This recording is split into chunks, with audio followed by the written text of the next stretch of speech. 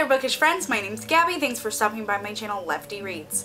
In case you haven't heard, let me tell you, we are already more than halfway through the year of 2016, which is crazy, crazy. Today I'm going to be doing the mid-year freak out book tag. I swatted a fly with that. This was created by both Chami from Read Like Wildfire and Ely from Ellie Jane, so I will leave the links to their channels down in the dingle hopper. They created this tag in an effort to get us to reflect on what we've read so far this year and get us pumped for what we still have got to read. Question one is the best book that you've read so far in 2016. This is literally the hardest thing in the entire world because I've read so many, so many fantastic books this year and I just feel like I'm doing a disservice to pick one favorite when I've read so many five-star reads. However, I've just, I've got to do it, you know? I've just got to do it. So, I picked, surprise, surprise, Me Before You by Jojo Moyes. I feel like I've talked about this book so much on my channel, but I just love it. I just I just adore it. I understand that many people found this problematic and I understand why they would, but I personally enjoyed this book a lot and I loved it and I just will never stop talking about it probably. But for this question, I also do want to mention Delirium by Lauren Oliver. This is a reread, which is why I didn't really pick this as my answer, but I love this book so much. I think it's absolutely stunning and perfect and heartbreaking. And so, yeah, this would definitely qualify as well for this question. The second question is the best sequel that you've read so far in 2016.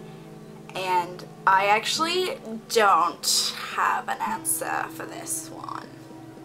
I've actually only read one sequel in all of 2016 and I didn't really like it that much. So I don't have an answer. Question three is a new release that you haven't read yet but want to. Lady Midnight by Cassandra Clare. Firstly, I haven't read this yet because it's huge. Absolutely huge. Wait, what is this? What the friggin' heck?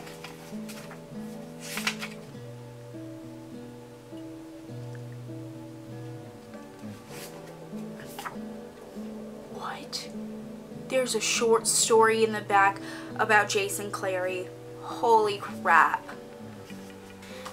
Anyway, this book is 669 pages and I just don't know. It's summer. I want to be free and I don't want to be tied down to 670 pages of text. That's just, it's really big. Question four is the most anticipated release of the second half of 2016. And honestly, this one was tough for me because I feel like the second half of 2016 has a bunch of sequels coming out for series that I've not started reading and like obviously has Harry Potter which I've not read and I just feel like it's not got a lot that I'm super duper interested in, but of course when those books start coming out I will be interested.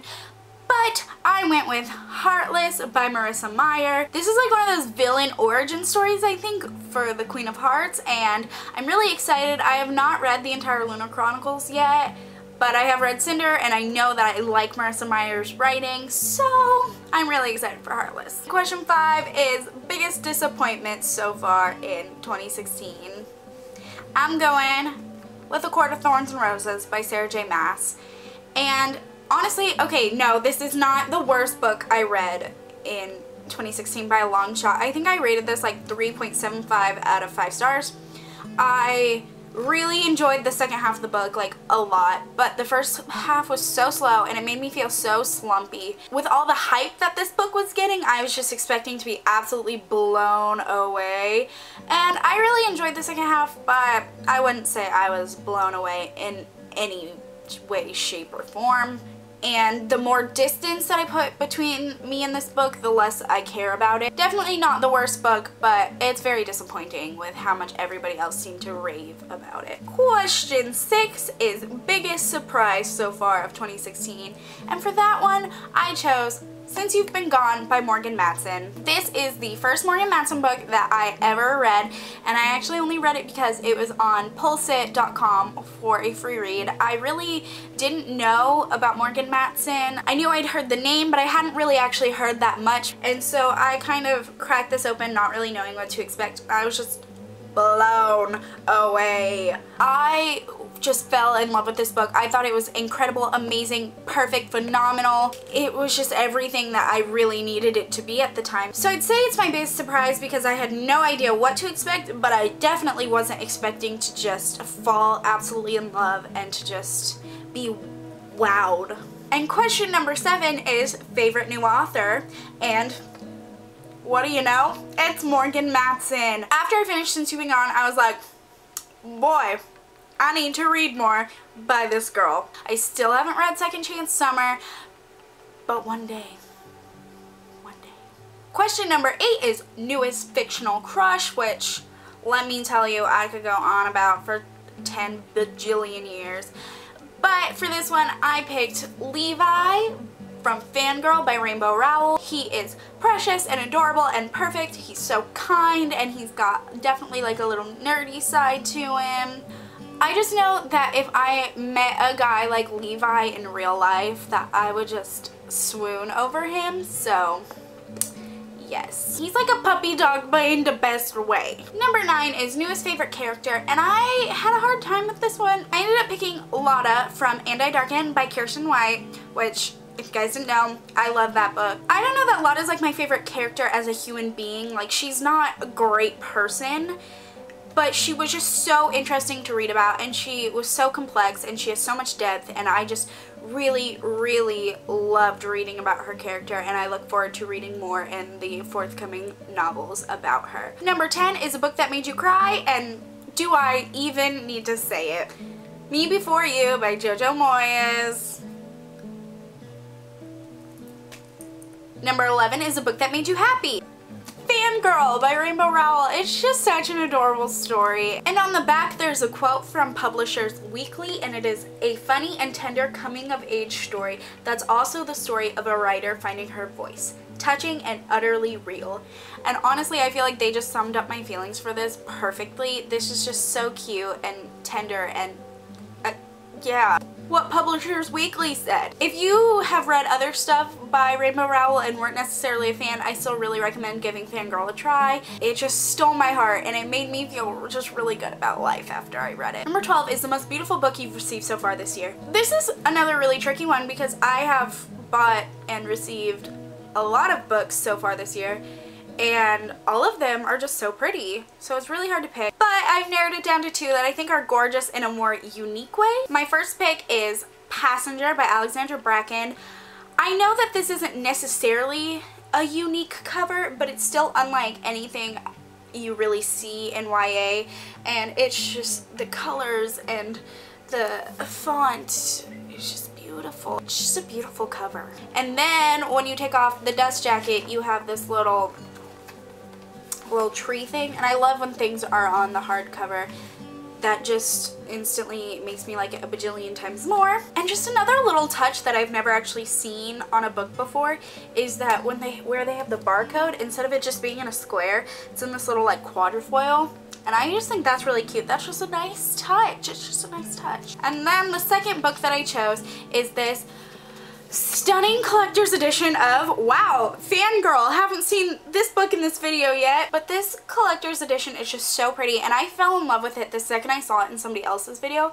This little bubblegum pink color is, first of all, I don't own any other book in that color, so it's just a beautiful color and I like the illustrations on the front obviously but then what really makes this the book that it is what made me just covet it so much first of all ribbon.